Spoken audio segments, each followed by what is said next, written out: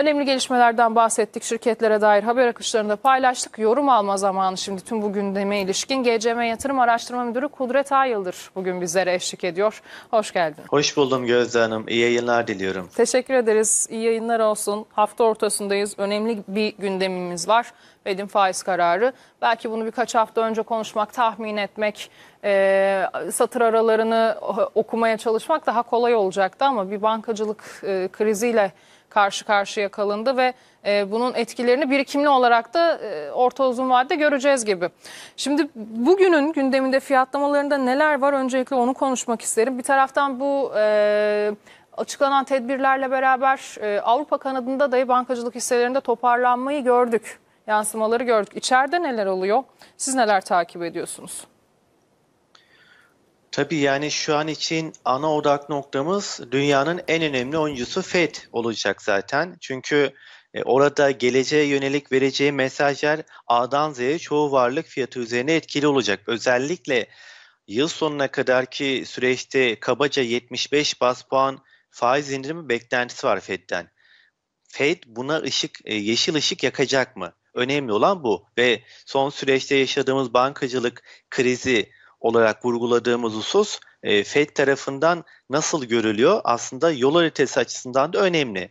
Biz tabii burada şöyle bir durum var. E, globalden ayrışan bir performans tam anlamıyla yaşayamıyoruz. 2022 yılında bunu görmüştük. Yani dünya yıkılıyordu ama biz ayakları yere sağlam basan, yukarı yönlü reaksiyonlarla e, parmak ısırtan çok önemli reaksiyonlar oluşturmuştuk ama yılbaşından itibaren alternatiflerin oluşuyor olması ve e, yatırımcıların tabii ki borsa dışındaki ürünlere de e, rağbet gösteriyor olması burada biraz daha e, normalleşme adı altında bir sürecin de izlenmesini olanak tanıdı. Bizim borsamızda özellikle globalin e, negatif yönlü etkilendiği önemli zamanlarda ister istemez bu reaksiyonunu vermiş oldu her ne kadar yabancı oranın az olmasına karşın.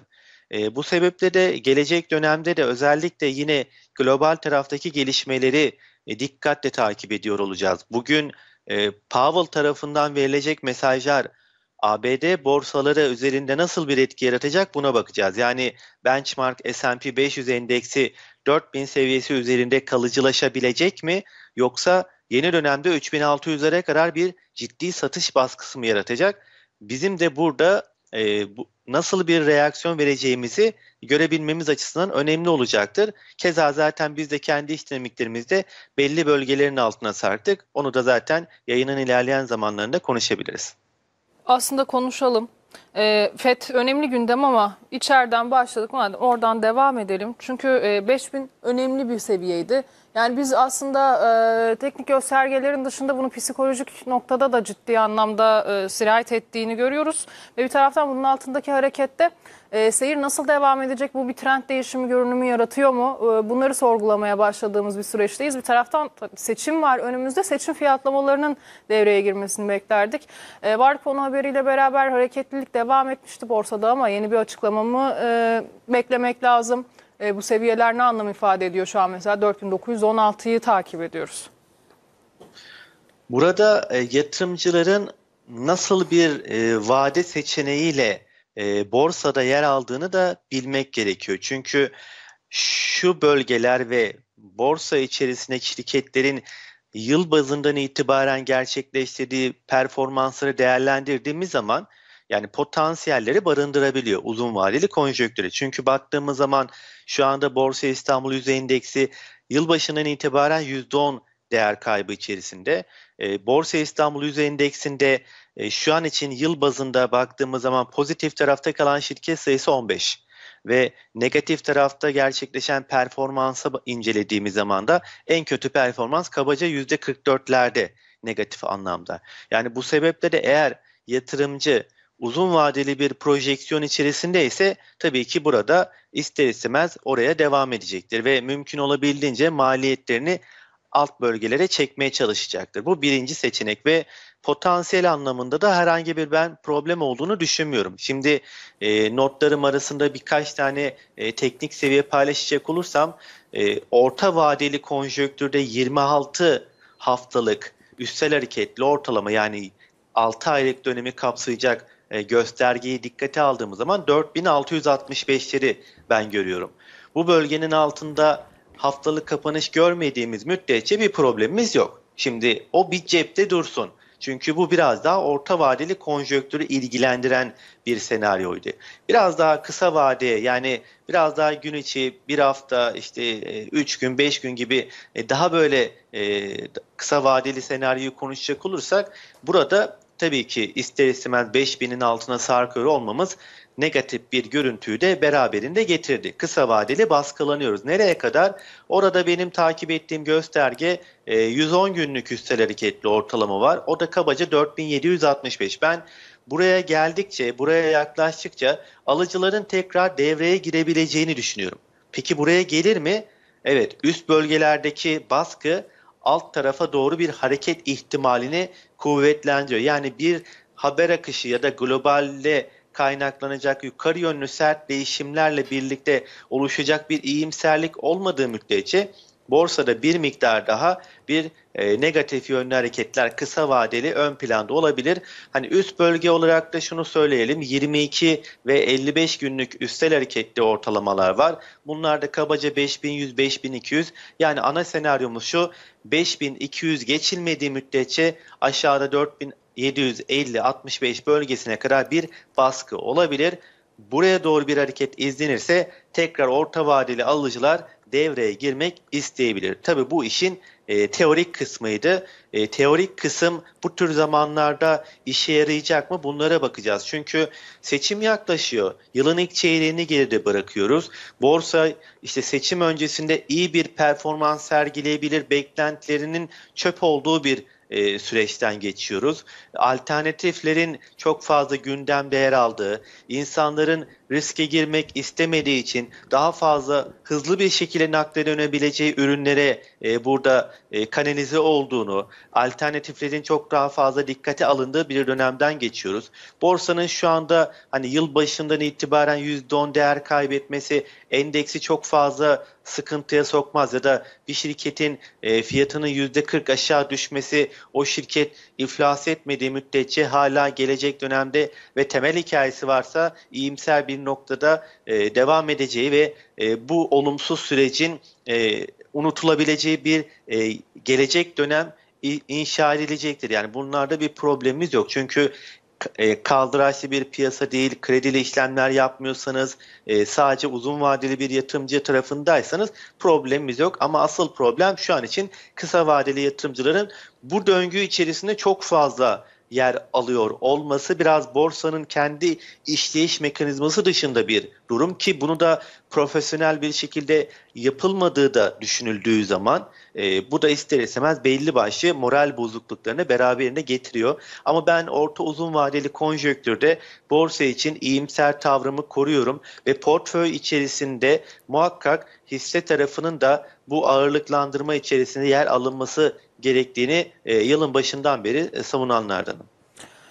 Ee, biraz daha detaylandırmak istiyorum konuyu. Yatırımcının son zamanlarda algısı nasıl şekilleniyor diye baktığımızda bu e, deprem gündeminden sonra verilen desteklerle beraber işte BES tarafı, Varpun tarafı bunların yukarı yönlü hareketi desteklediğini gördük ama şu noktadan itibaren biraz daha e, yatırımcı ya bekleme, görme noktasında ya da nakde dönme noktasında dediğiniz gibi hani tüm dünyada aslında bu e, Cash is the King e, mottosunun devreye alındığı bir süreçte yaşanıyor ama bir taraftan fiyatlamaları da konuşmak lazım yahut beklentiyi. E, yatırımcı tarafından varlık bunu ne zaman satmaya başlar, e, bundan sonra bir hareket görür müyüz, destek görür müyüz e, ifadeleri de var. Şimdi bankacılık tarafını ayrıca ele alıyoruz. Çünkü bankacılık tarafındaki görünüm önemli. Hem e, seçimle beraber e, konuşmaya başladığımız konulardan biri yabancı yatırımcının e, girebilme tekrar Borsa İstanbul'a dönebilme ihtimaliydi. Bunu yoğunlukla gördüğümüz sektör bankacılık tarafı olur genelde ve mevcut konjonktür gereği tabii ki değerlendiriyoruz etkileri nasıl oluyor diye. Şimdi bir yarım puan yukarı yönlü hareketle takip ediyoruz bir taraftan. Bir taraftan da bankacılık krizini konuşmaya başladığımız günden bu yana Türk bankalarının sermaye yapısını e, da irdeliyoruz. E, tabii ki görece daha güçlü bir yapı var o tarafta ve bugün itibariyle takip ettiğimiz gelişmelerden biri de kamu bankalarının gerçekleştirdikleri sermaye artırım kararları. E, bunlar paylaşıldı. E, ve bu noktada yine e, süreci değerlendirmek isteyeceğim. Yani bu kararların etkilerini hem bankacılık sektörü dinamiklerini, e, çarpanlarını nasıl görüyorsunuz? Sermaye yapılarıyla ilgili sizin düşünceleriniz nasıl? Şimdi öncelikle şunu net bir şekilde vurgulamak gerekiyor. Yani bankacılık sektörü olmadan ilerleyen bir borsa fiyatlama reaksiyonu sağlıklı olmaz. Bir kere bankanın da lokomotif anlamda e, borsa üzerinde etkili olacak bir trend faaliyetlerinin izlenmesi gerekiyor. Bu bir gerçek. Tabii e, dolar bazı zirvelerden uzaklık yakınlıklarına da baktığımız zaman da hani dört ana sektör nedir diye soracak olursak sanayi, bankacılık, hizmetler ve holdingler ve bu dört ana sektör içerisine baktığımız zaman bankacılığın e, dolar bazı tarihi zirvesinden uzaklığı yüzde 400 yani bu dört ana sektör içerisinde oldukça potansiyeli de barındıran bir görüntü var ama tabii ki soru işaretleri var. Neden soru işaretleri var? Birincisi bu e, Merkez Bankamızın beklenti anketi içerisinde de var. E, seçim sonrasında en azından yıl sonu tarafındaki faiz beklentilerinde şu anki mevcut e, oranın üzerinde bir görüntü söz konusu. Yani faiz tarafında bir yükseliş beklentisi ön planda. E, yabancı kurumlar bunları birazcık daha agresifleştirebiliyor. Yerli tarafta biraz daha işte enflasyonla şu anki faiz arasındaki mevcut konjöktür sürecini değerlendirerek daha makul bir bölgeye çıkartma düşüncesi içerisinde. Şimdi hal böyle olduğu zaman ister istemez bir soru işareti oluşturulabiliyor. Yani bir yandan fiyat anlamında oldukça e, ucuz e, diyebileceğimiz ve gelecek dönemde eğer sadece işin e, teorik kısmına, fiyat kısmına baktığımız zaman ortada muazzam bir potansiyel olduğunu gördüğümüz bankacılık var. Bir yandan da işte gelecek dönemde Merkez Bankası'nın para politikası kararlarıyla birlikte baskı altında kalabilecek bir sektör. Tabii biz 2000'li yılların sürecinde bankacılık tarafındaki aldığımız regülasyonlarla birlikte biz kriz dönemlerini bu anlamda oldukça rahat geçirebiliyoruz. Yani bugün ABD tarafında gelinen noktaya, Avrupa tarafında gelinen noktaya baktığımız zaman da e, biz bu anlamda e, zamanı da zaten e, bu kriz süreçlerinden geçtiğimiz için o, o konuyla alakalı regülatör süreçlerini tamamladık. Denetleme süreçlerini tamamladık. Yani bu anlamda avantajlıyız e, globalle kıyasladığımızda. O yüzden de bir problemimiz yok. Ama işte problem dediğimiz konu seçim sonrasında Merkez Bankası'nın tutumu ve buna karşın banka tarafındaki e, karlılığı etkileyebilecek, sektör üzerine baskı oluşturabilecek bir görüntü. Ama tabii buna biraz uzun vadeli konjonktürde yine değerlendirdiğimiz zaman gelmiş olduğu fiyat bölgesi yine sektörel bazda baktığımız zaman da hala bankanın portföy içerisinde olması gerekliliğini e, gösteriyor. Nitekim e, bizim de zaten model portföyümüz içerisinde bankalarında olduğunu e, söyleyebiliriz. Bu anlamda e, gelecek dönem için ben banka e, alımlarının e, ya da fiyatlama reaksiyonlarının yukarı yönlü devam edeceğini düşünüyorum. Şu anda da zaten fiyatlama kısmında e, benim notlarımda gördüğüm 89 e, periyotluk üstel hareketli ortalama kabaca 4600'lerden geçiyor. Şu anda e, bankanın da 4625'lerden geçtiğini görüyoruz. Burayı destek kabul edebilirse bankacılık tarafında iyimser bir fiyatlamanın kısa vadede de etkili olabileceğini söyleyebiliriz. Eğer 4600'ün altında bir günlük kapanış yaparsak biraz moraller bozulabilir. En azından sanayi bankacılık tarafını kıyasladığımız zaman evet. bankanın e, biraz daha destek olduğunu söyleyebilirim. E, son dakikalarımız hemen FED'e dair de uzatmadan ben bir yorum alayım. FED'de 25 bas puan faiz artışı ihtimali ön planda. Ekonomik projeksiyonlara dikkat ediyoruz. Enflasyon ve faiz tarafındaki revizeler kritik.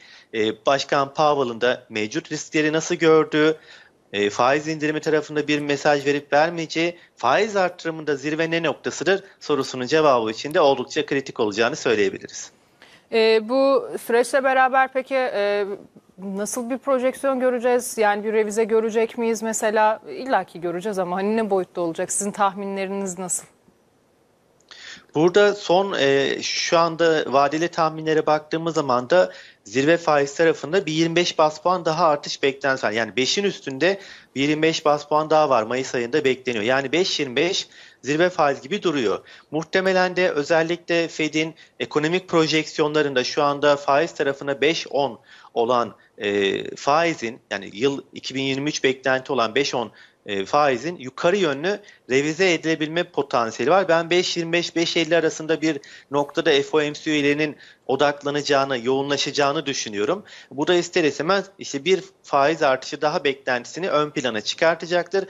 Ama burada e, evet yukarı yönlü revize yapılacaktır faizde muhtemelen ama yine de yıl sonundaki e, beklenti için Powell'ın mesajları da önemli olacaktır. Çünkü piyasa ciddi anlamda faiz indirme beklentisi içerisinde Fed'in böyle bir diyaloğu yoktu zaten projeksiyonlarında da açıklamalarında da. Burada e, piyasalar Fed'e mi yaklaşacak yoksa Fed piyasalara mı yaklaşacak? Gerçekten borsa performansları açısından da dikkatle takip edilmelidir diyebiliriz. Peki çok teşekkür ediyoruz Kudret Ay Yıldır katkılar, değerlendirmeler için. Ben teşekkür ederim. Kolaylıklar.